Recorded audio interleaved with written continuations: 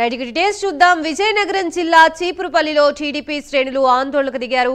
అధిష్టానం Cheepurupalli assembly ticket కమి కిమిటి నాగార్జునకి ఇవ్వలేదని దీంతో నాగార్జున విజయనగరం పార్లమెంట్ అధ్యక్ష పదవికి పార్టీ సభ్యత్వానికి రాజీనామా చేశారు. దీంతో నాగార్జునకి మద్దతుగా జిల్లాలోని పార్టీ శ్రేణులు సైతం తమ పదవులకి రాజీనామా చేస్తున్నట్లుగా ప్రకటించారు. పార్టీ కార్యాలయం వద్ద టీడీపీ కరపత్రాల్ని తగలబెట్టారు.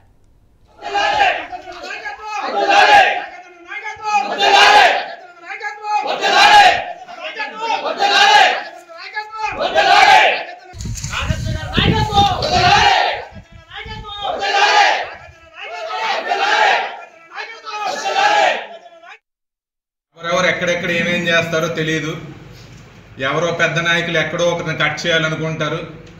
ఆ రకంగా ఏంటంటే ఏమేం జరుగుతుందో మరి నాకైతే తెలియదు దాని గురించి నేను కామెంట్ కూడా చేయదలుచుకోలేదు.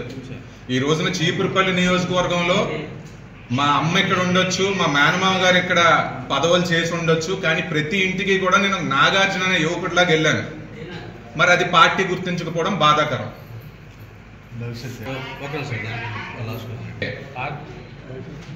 నేను నేను పార్టీకి రాజీనామా చేశానన్నా నా పదవులకి రాజీనామా చేశానన్నా నేను కట్టుబడి ఉండే వ్యక్తినండి.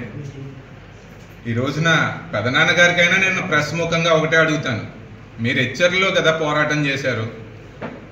హెచ్చర్లో పోరాటం చేశారు. నేను ఇక్కడ మంచి పోరాటం చేశాను. నా పోరాటం ఏంటనేది ఆయనకు కూడా తెలుసు.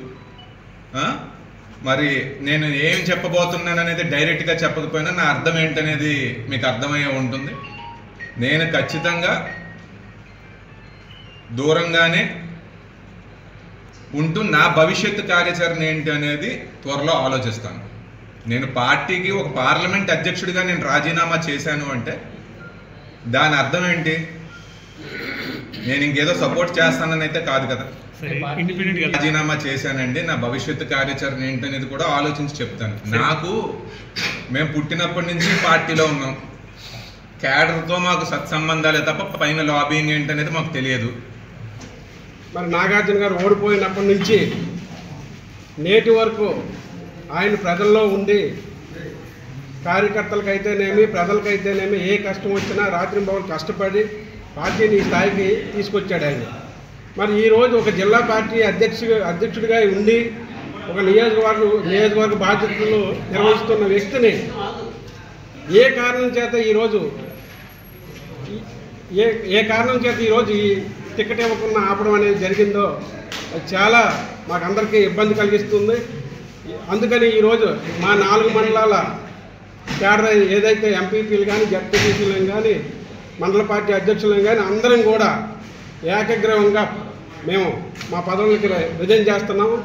ఆయన రిజైన్ చేస్తూ ఆయన సంఘీభావం తెలుపుతున్నామని చెప్పి ఈ సభ